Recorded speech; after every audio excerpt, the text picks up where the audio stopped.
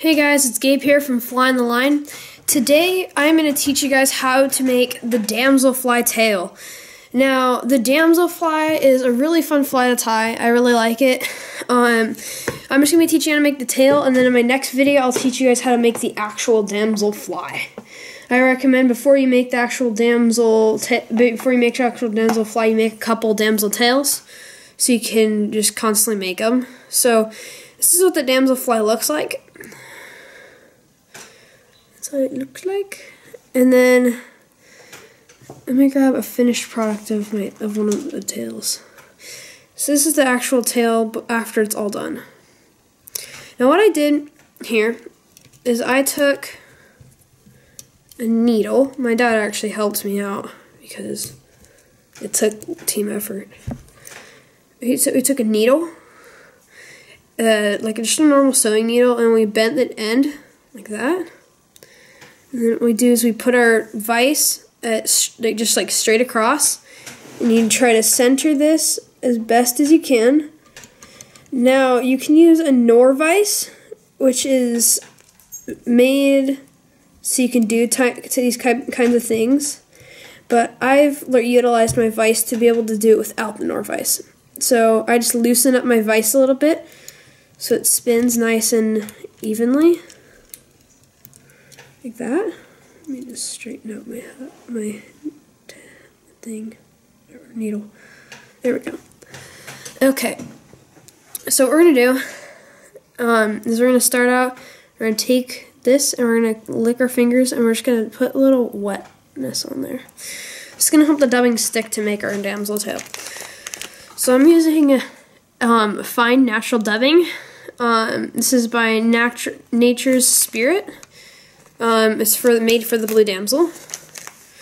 So I'm just going to take a big clump of it, like that. What I'm going to do is I'm going to have these ends out like this, see, like that. And we're going to kind of spin this, and we're just going to, it'll eventually hook on. Like, get on there. There we go, come on. There we go.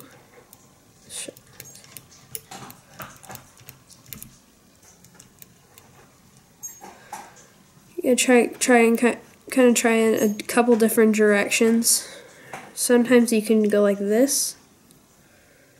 That'll just kind of help you get it on, and then it should start getting on.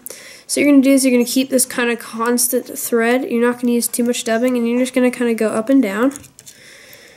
Kind of build this tail. You can go all the way to the end of the needle, the actual needle part of it. So I'm just going to kind of keep building up the little tail.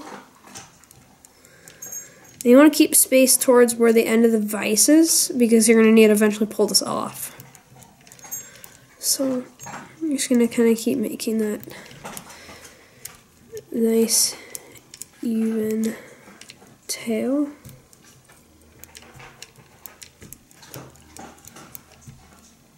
And this is a dry fly the blue damselfly.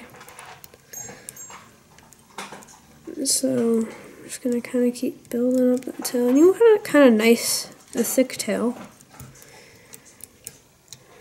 Okay, I'm kind of getting close to the end of my dubbing. I gotta, you don't want to end it in a clump. So, okay, now my dubbing sort of ended, I'm just gonna pinch it, and I'm just gonna kind of slide my fingers up and down. That's just gonna flatten out all those loose hairs. Then I'm continuing, continually spinning my vise.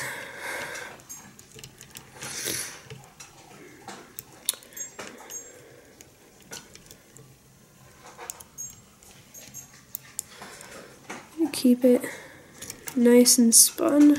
There we go. I'm going to grab another clump. That. And what you can also do to make it go quicker is you can go like this and you can have it spread out and then watch it'll start to collect like that. Now I learned this how to do this fly from uh, the Norvise YouTube page, YouTube channel. He's really he ties some really cool flies with this Norvise. I really like the way they look, and they're pretty cool looking. I like them. And I learned this from his, his name's Norman, I think. He's a very cool. His his YouTube channel is very cool. So this ta this tail's kind of getting lumpy from some of the ending some of the pieces. So I'm just gonna kind of run my finger along it, along it and try to flatten it out as much as I can. Okay, now this is gonna be the final piece of dubbing. Hopefully, that'll actually just even out the line. So I'm just gonna kind of pull it in right there, even it out in the front. I'm gonna try and keep I'm just gonna kind of build up the end.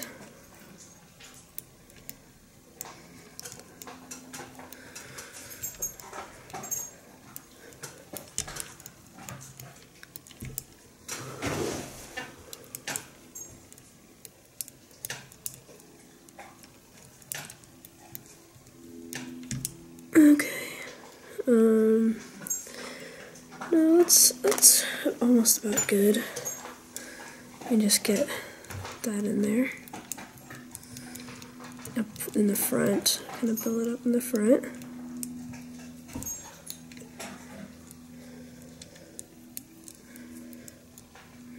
There we go.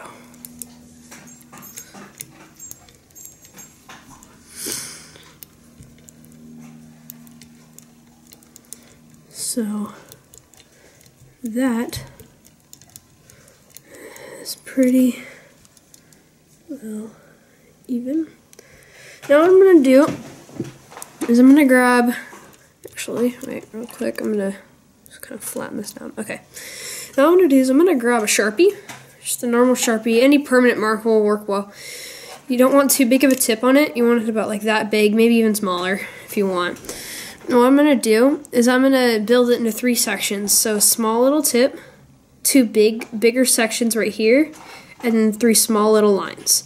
And that's the actual pattern when I looked. I My dad did some research and he found that that's how the actual damselflies look.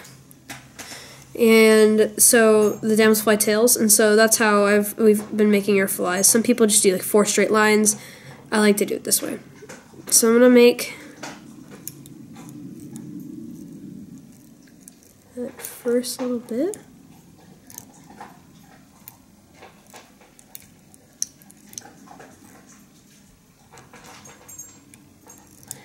You don't want to go the opposite way because then that'll go against the way your dubbing is going. Okay, so that's my first section, and now I'm going to build up my second section. This Sharpie's kind of dying on me here. Grab, I have another one.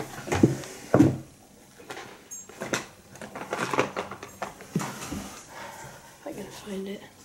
Oh, be right back. I just gotta go grab it.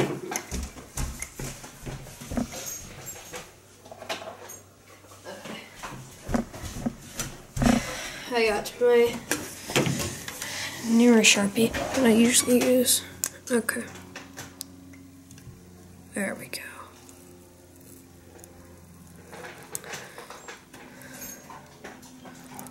Kind of touch back up on the little tip. Okay. Uh, build another section.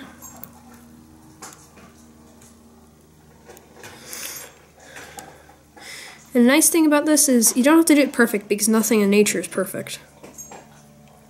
So I'm build my another one, my first little band. My second little band. And my third little band.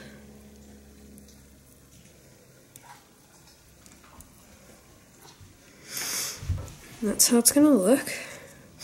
Now, before I put some water-based head cement finish, I'm just gonna kind of blow on this to let it dry. Because you don't, if it's not dried, then it's gonna be super hard to pull off, and the glue will like spread all the ink, and it looks really bad.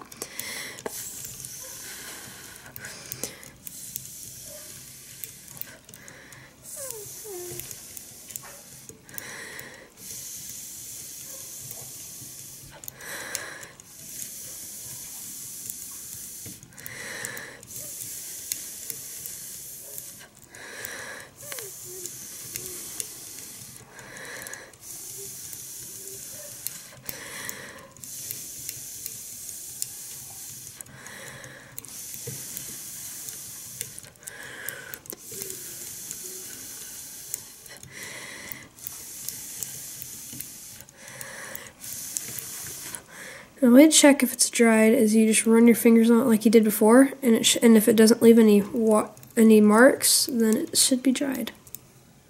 Yeah, dried. Fingers are clean. Sweet. Okay, now we're gonna take some Loon water-based head finish. Um, now, the reason you don't use a normal like head cement like Sally Hansen um, is because you it will it's oil based, and so this is oil also oil based, so it'll combine and it'll spread, and when you put it in the water. But this, the water head cement, is more fine in a sense. It's hard to describe, but it's a lot cleaner, and um, I just like the look of it better personally. Um, and so I'm gonna do is I'm gonna open it up. You're gonna open up the head finish. You're gonna kind of wipe up some, wipe off some of that glue, extra glue. Then you're gonna kind of take your uh, applicator and you'll kind of spin it along like that. You can also do that because then the glue will kind of drip down. And you can kind of glob it on there, which is nice. It's not exact precision.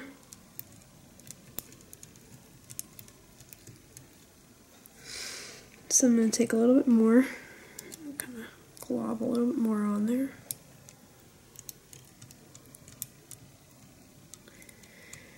Now this is kind of just to hold that tail together because if it then then when a fish grabs it, if it's not hold, held together, then it won't hold. So that's all that glue on there. That's good. Now you don't want to wait too long. You want to put your cap back on. You're gonna kind of pinch it to get all that kind of extra glue out. Then you're gonna take the pinch the pinch the end super hard, and you're gonna pop it off. Then you're going to kind of stretch out your tail a little bit. Not too much because you don't want to break it. Then you could take a towel or something if you wanted and kind of squeeze it. Um, I'm just going to kind of squeeze it together, get all that extra glue out. And that is what it looks like after it's done.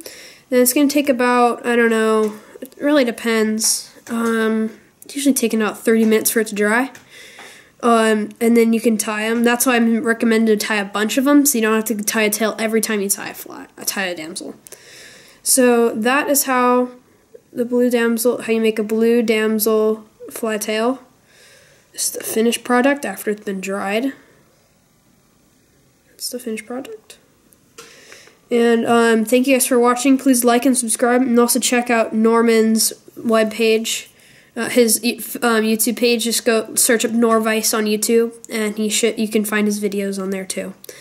Um, and I should say shout out Norman. Thank you, Norman, for for putting that fly on YouTube. It's very cool. Um, and also, please like and subscribe to my videos and check out my blog, flyinthelineblog.wordpress.com.